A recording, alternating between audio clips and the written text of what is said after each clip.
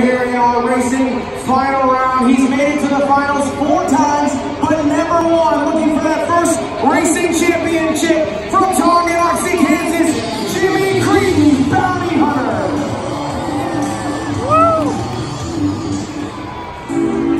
And his 12th World Finals win would be the biggest of his career. Let's make some noise